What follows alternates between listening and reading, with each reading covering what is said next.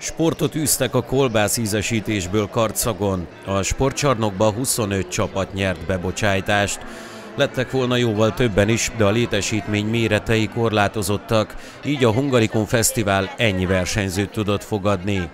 Több előzetes megbeszélés történt, természetesen mivel pedagógusok vagyunk, a legfontosabb dolog a dekoráció és a küllem, hogy egy kicsit kiríjunk a társaságból. Tulajdonképpen kilenc malacka van és egy farkas. A farkasunk az egyetlen férfi pedagógusunk, aki most a csapatban van, Pesti Tibor, és így állítottuk össze, utána pedig ki mit főz, ki mit hoz, és egyébként remek a hangulat. A Kiskulcsosi iskola tanári karán túl még több tucatnyian gyűrték föl az ingük ujját, hogy alaposan összemasszírozzák a megdarált sertéshúst. És a sertéshúsból készült hagyományos téri disznótoros ételek a legfőbb gasztronómiai kiváltságaink és a büszkeségeink is egyúttal. És a nagykulsában mi paprikásan készítjük a kolbászt, megfelelő fokhagyma, só és borsalányra odafigyelünk, valamint arra is, hogy milyen méretűre van darálva a hús. Erre minden csapat, én úgy látom, hogy nagyon is igényesen oda fog figyelni, hogy az övé legyen a legfinomabb, az övé legyen a leggusztusosabb, és olyan bélbe töltve, ami, ami emészhető, tehát nem, nem műbélben, hanem valódi hagyományos ízeket és valódi hagyományos formákat fognak kihozni a kolbászból a, a csapatok. Én évről évre nagyon nagy örömmel veszek részt minden gasztronómiai rendezvényen, ennek nyilván karcagon még erősebb hagyományai vannak. A karcagokat soha nem lehetett kihéheztetni, erre a törökök se voltak képesek, hogy kiéheztessenek bennünket, és itt látszik, hogy a kolbász ízesítése nagyon jól összefért, például a birkapörkölt főzése is, odaként legalább 4-5 kasztrolyban rotyog a birkapörkölt, és más disznótoros ételek is. Természetesen, mint a legtöbb gasztrokulturális rendezvényen, itt is szakértő zsűri minősíti a csapatok munkáját.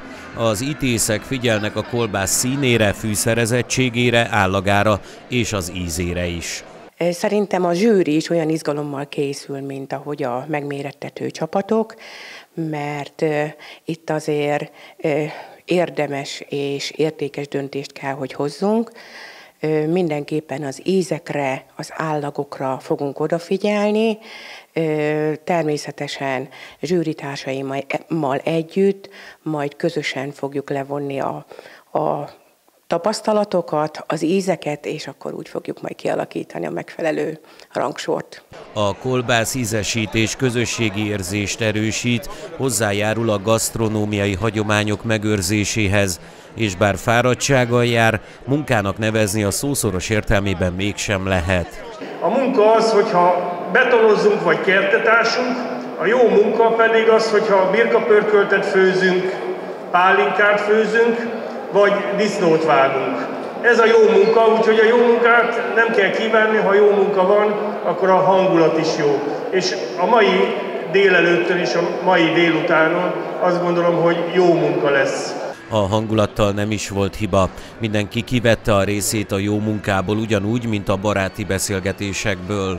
Családi indítatás volt, amikor eh, beszélgettünk arról az intézményen belül, hogy hogyan lehet átadni generációk között a kolbász ízesítés fortéjait, hiszen nagyon sok házban, háztartásban, családban elmondják a fiataloknak a receptet, átadják papíron, de teljesen más az, amikor ki is lehet ezt próbálni, amikor közösen egy baráti társaságban, családi társaságban be kell ízesíteni a kolbászt, meg kell gyúrni, meg kell tölteni, aztán természetesen megsütni és elfogyasztani, hiszen akkor derülnek ki azok a fortéjok a kóstolás után, amelyet esetleg eh, rosszul hajtottak végre a töltés folyamán.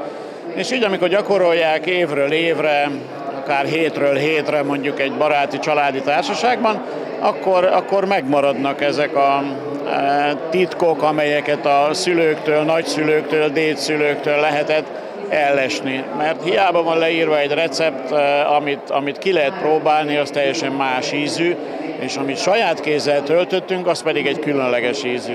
A szakértő zsűri döntés alapján a kolbászízesítő versenyen a Kiskulcsosi Team nevű csapat lett a kolbászízesítés királya. A házi keltésztás sütemények versenyén Varga Józsefné paraszt kiflie lett az első helyezett. A házi pálinka verseny győztese pedig Combos István megy pálinkája lett.